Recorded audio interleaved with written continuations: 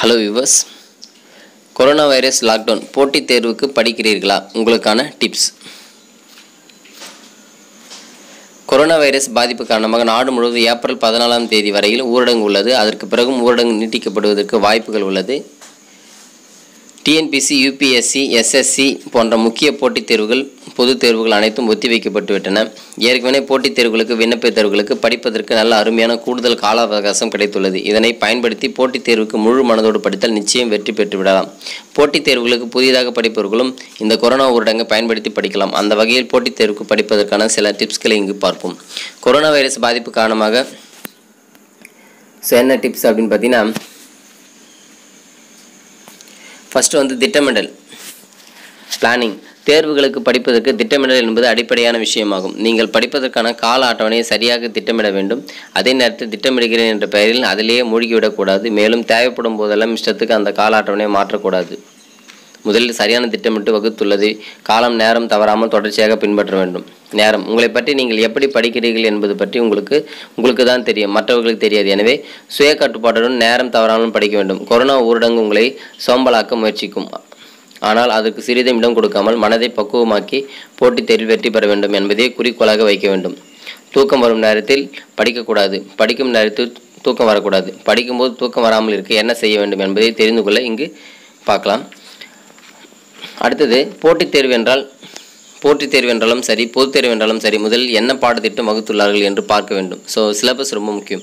பாடத்திட்டத்தில் குறிப்பிட்டுள்ள அத்தனை பாடப்புத்தகங்களும் நம்மிடம் இருக்க வேண்டும். கொரோனா அச்சுறுத்தல் இருப்பதால் வெளியில் சென்று பாடப்புத்தகங்களை வாங்க வேண்டாம். இப்போது நம்மிடம் இருக்கும் பாடங்களை முதலில் படிக்க வேண்டும். பிறகு மற்ற பாடங்களை மற்ற புத்தகங்களை வாங்கிக் கொள்ளலாம். பாடத்திட்டத்தில் கடினமான பாடங்களுக்கு அதிக நேரம் கொடுத்தும் எளிதான பாடங்களை சற்றென்றும் படிக்க வேண்டும். ஓய்வு. தொடர்ச்சியாக படிக்கும் வேலைகளுக்கு இடையில் சிறிது ஓய்வு கொடுக்க வேண்டும். சில நிமிடங்கள் ஓய்வு கொடுத்தால் அடுத்ததாக படிக்கும்போது புத்துணர்ச்சியாக இருக்கும். நீங்கள் படித்ததை மீண்டும் ஒரு முறை நினைவு கூர்ந்து மனதில் பதிய வைக்க வேண்டும். முக்கியமான விஷயம் படித்தவுடன் உறங்கக்கூடாது. தூங்கி எழுந்தவுடன் புத்துணர்ச்சியாக இருக்கும்போது படிக்க வேண்டும். சுய தேர்வு. முந்தைய தேர்வுகளில் கேட்கப்பட்ட வினாக்கள் மாதிரி வினாத்தால் ஆகியவற்றை கொண்டு நீங்களே உங்களை அடிக்கடி சுய மதிப்பீடு செய்ய தேர்வு வைத்துக் கொள்ள வேண்டும். ஒரு பாடத்தை படித்து முடித்தவுடன் அந்த பாடத்தில் உள்ள கேள்விகளுக்கு விடையளிக்க வேண்டும். இவ்வாறு நீங்களே உங்களுக்கு வைக்கும் தேர்வுக்கு அதிக நேரம் எடுத்துக்கொள்ளக்கூடாது. மிக குறைந்த நொடிகளில் விடையளிக்கும் வகையில் பார்த்து கொள்ள வேண்டும்.